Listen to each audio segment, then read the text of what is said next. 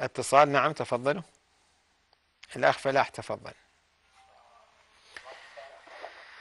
يا أخ فلاح تفضل. السلام عليكم سيدنا. عليكم السلام ورحمة الله وبركاته. آه، سيدنا. آه، السلام عليكم سيدنا. اترك التلفزيون يا أخ فلاح الله آه، يوفقك. نعم. اترك أيوة، التلفزيون. ماشي. سيد العفو. بتسمعني سيد؟ إذا أنت تترك التلفزيون راح أسمعك وتسمعني. لا لا لا بس طلعت برا. أحسن جزاك الله خير. يلا تفضل. السلام عليكم سيد وعليكم السلام حياكم بارك الله فيك أبو حسن. تفضل. آه، سيدنا يعني إحنا سبق كل إنسان مو ينولد واعي وفاهم ويعرف فيمر بأخطاء يعني مو مقصودة. نعم. يعني آه، قبل يعني 97 آه، نعم. ولد قعدنا بكرفان نعم. فأتمنى عليه أجل غرض ازلنا بغرفه نعم. قرابه فإحنا آه، كان يعني شلون ظروفنا تعبانة وإيماننا همنا مو مثل ما هسه واحد مضى بعقله وشويه شوية في الحياة.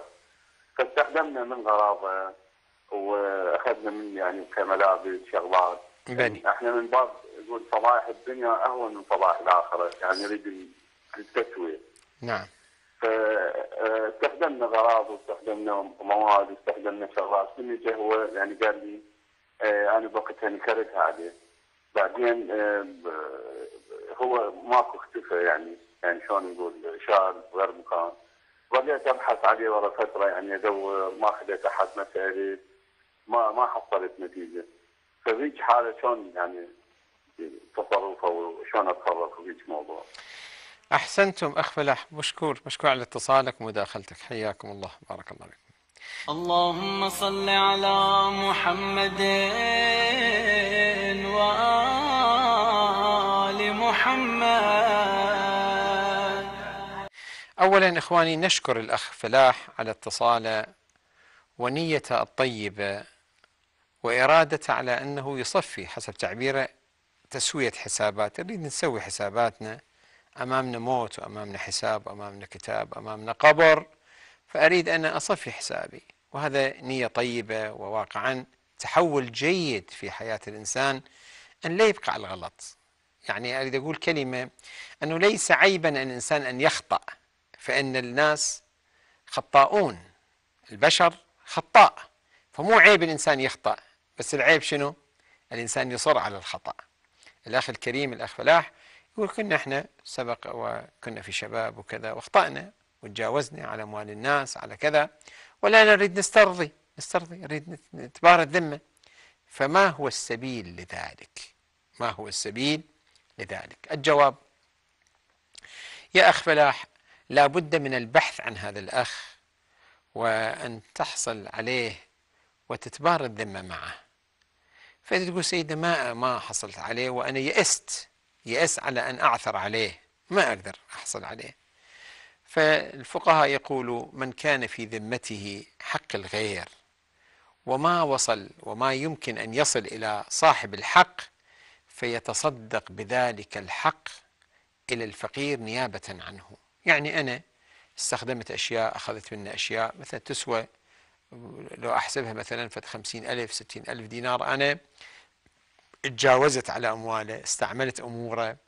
والمظالم اللي بذمتي مظالم اللي حصلت أنا ظلمت الآخرين بها خمسين ستين ألف دينار. أشيلها أنطيها علما للفقير نيابة عنه وحقه الذي لا بد أن يصل إليه.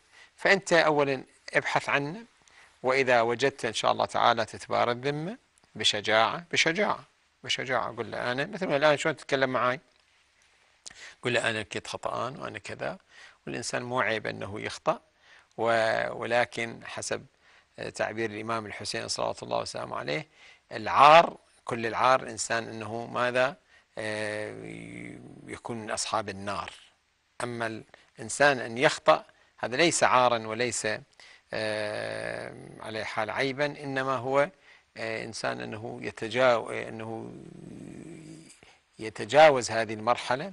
وينتقل إلى مرحلة أخرى وهي التوبة إلى الله سبحانه وتعالى وتصفية حسابه. إن شاء الله تعالى إما أن تبحث عنه وإما أن تتصدق بهذه المظلمة والظلامة التي حصلت عليه وتقيم أموالها شقيد وتعطيها إلى الفقير نيابة عنه. نعم. اللهم صل على محمد وآل محمد. الأخ محمد تفضل. السلام عليكم. وعليكم السلام ورحمة الله وبركاته. حياكم الله. بارك الله بكم. سيدنا سؤال. تفضل. أنا عندي سيارة أجرة عبرية. عندك سيارة أجرة؟ إيه أجرة عبرية. نعم. وعندي مثلا خط لها الصبح أشتغل عليها. بلي. إيه. ومن يعني من فترة العصر يوقف هذا شغلنا. يعني مثلا هو الصبح شغلنا محدود والعصر يوقف هذا الشغل. مثلا عندي غير خط بالليل أقدر أشتغل عليه بس هو يعني مو خطي. يعني شنو تقدر تشتغل عليه؟ هي سيارة أنت سيارتك لو سيارة الآخرين؟ لا هي سيارتي. سيارتك. وتي تشتغل على خط آخر؟ إيه شو المشكلة؟ وين المشكلة يا أخ محمد؟ هو هي ماكو مشكلة. المشكلة يقولوا لي حرام.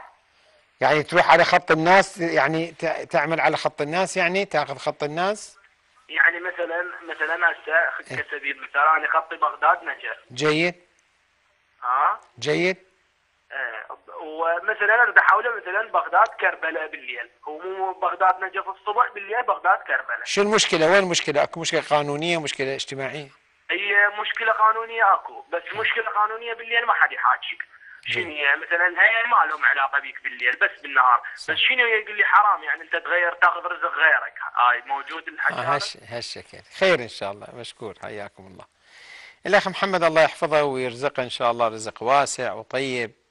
يقول سيدنا أنه أنا هالشكل عندي خط صباحي آه، أذهب به. آه، مسافرين أنقلهم من من مكان إلى مكان. في الليل أنا مو من حقي أن أروح إلى خط ثاني مثل بغداد ديوانية أو بغداد حلة. أنا بغداد نجف أشتغل مثلا. ولكن في الليل أروح هذا الخط لأن ما عندي شغل عمل أحصل كم فلس من خلالها هل يحق لي ذلك أو لا؟ هل يحق لي ذلك أو لا؟ الجواب الجواب أنه لا إشكال فيه، لا إشكال فيه الإنسان أن يشتغل أينما كان وأي خط أشاء وأي وسيلة أراد، ما في إشكال، الانسان حر يقدر ان يشتغل أربع خطوط ويقدر يشتغل خط واحد، ولكن هاي ولكن انتبه لها أخ محمد. إذا كان النظام والقانون ما يسمح لك أنه أنت تنتقل إلى قضية اللي هذه في الواقع تضر الآخرين أو تجعل هناك آه، حسب تعبيرنا التزامات قانونية. آه، سماحة السيد الله يحفظه يقول هذا يوجب نوع من الإخلال بالنظام. فأي عمل يوجب الإخلال بالنظام والمخالفة في الأنظمة سماحه السيد ما يجوزه ما يرخص له. فأنت في الواقع شوف نفسك أنه واقعا إذا كان القانون ما يسمح لك فتنازل عن هذا العمل اللي آه، يوجب نوع من مزاحمة الآخرين والضرر بالآخرين اللي هم واقفين سرة واقفين كذا وينتظرون يجي راكب وأنت تجي على حال تحصل راكب أرخص تأخذهم وكذا هذول على حال يتأذون لا يصير هذا النوع من الإيذاء والضرر والإخلال بالنظام. حياكم الله أخ محمد.